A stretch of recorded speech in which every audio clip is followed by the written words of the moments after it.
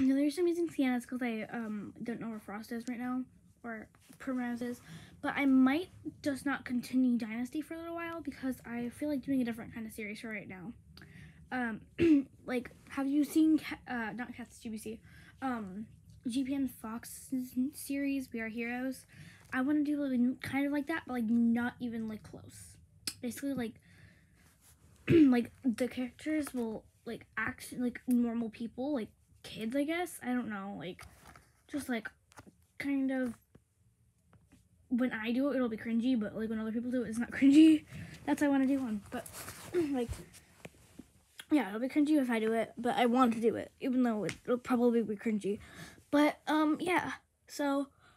I'm not going to continue Dynasty for a little while. I'll put it in a folder so you guys can watch all three episodes so far. But I'm pretty sure it'll keep you entertained until I get back to it.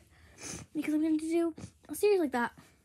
Um, I guess, like, But they're, they're not going to have powers, by the way, guys. So don't worry about that. Well, they might.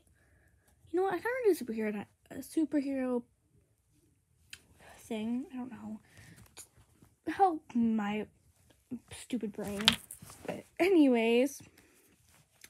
Um, I will stop continue. I will not continue Dynasty for a little while, like maybe a month or two, and I will um do the superhero thing. I guess like superhero thing. So yeah, bye.